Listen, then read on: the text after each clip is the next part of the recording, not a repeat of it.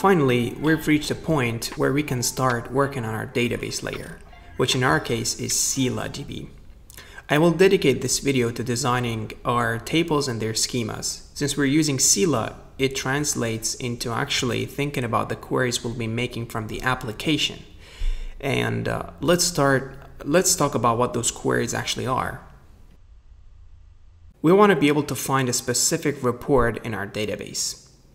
We want to find all the reports created by a specific user sorted based on their creation time.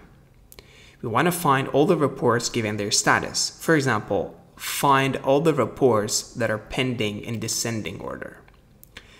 We want to find a specific message in a report, or more generally, find all the messages that belong to a report ordered by their creation time. Now, I would argue that the following is the most suitable schema for a reports table, where we'll store all the information about the reports that we receive into our system from our users.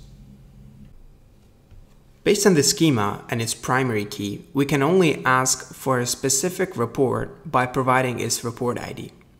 So how can we use this information to get an answer for our other queries?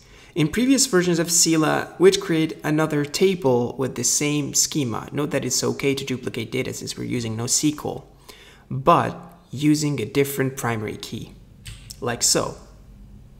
But Scylla now supports a great feature called materialized views, and we'll actually utilize that for our other queries.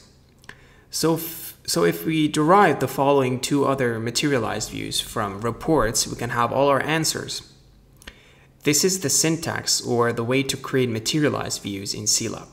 Note that we always have to include all the primary key fields in where clause in the form of is not null check, plus exactly one other additional field that uses the partition key, while the original primary key fields will comprise the clustering key part.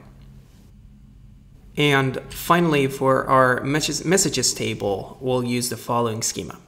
With this schema, we can list all the messages of a report ordered by created at field.